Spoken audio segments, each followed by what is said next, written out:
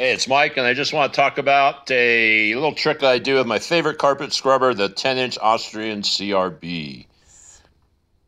So, the whole idea behind running just the back tray is so that one, I don't have to use a vacuum on heavily urine damaged carpet and ruin the vacuum, or use the customer's vacuum and have to breathe all the uh, toxic emissions.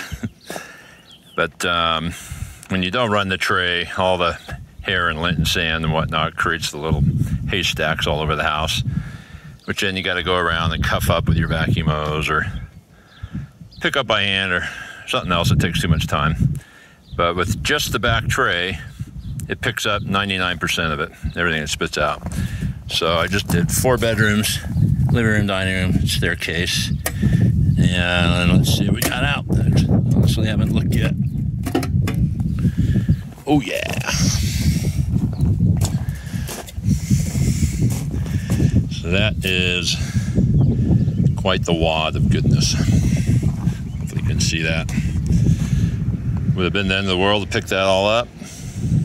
Not necessarily, but this is a whole lot handier and dandier.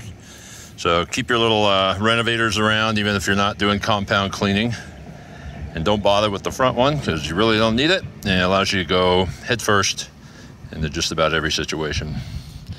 All right, Mike Pate signing out. Later.